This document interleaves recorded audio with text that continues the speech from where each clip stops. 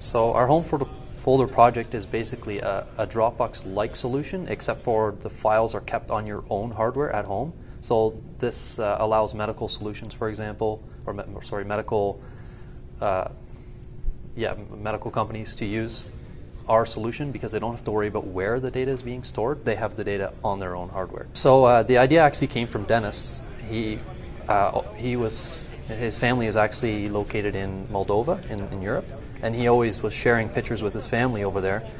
And using Dropbox was just costing him too much money because pictures take up a lot of space, and Dropbox charges you know excessive amounts of money once you start getting over a certain amount of data. So he thought it'd be a great idea to keep the the files on your own computer at home and then still be able to access them anywhere in the world at any time.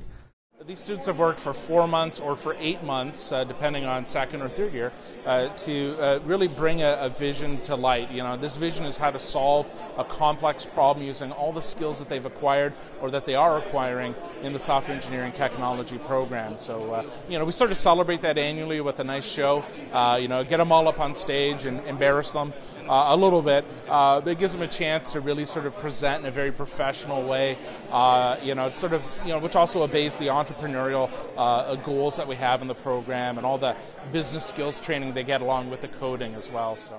Uh, well, to be honest, the, the biggest reason was location, but Conestoga also has from from my understanding, one of the best reputations, at least in southwestern Ontario, and in the high school I went to, you know, Conestoga was one of the most popular next to, or in line with Fanshawe. To prepare for this kind of thing in the classroom, uh, there's it, it, comes in from uh, a lot of a lot of different ways. We, we prepare them by uh, giving them uh, smaller scale examples to work with. So we'll give them really Im- uh, impressive and, and, compelling challenges, like you know here's a um, uh, you know here's a really big data problem, right? So use all these tools at your disposal and, and do something in two weeks right? And what they've learned in two weeks, they can instantly apply and bring into their eight-month-long project, as an example. So, um, you know, so they're prepared to meet a, a range of technical challenges based on the coursework in their tech courses, but then you know in the program as well they take entrepreneurship class, uh, entrepreneurship classes, uh, communication skills classes as well. This program for one has been super challenging, which for me is great. I like challenges. I want to take them on and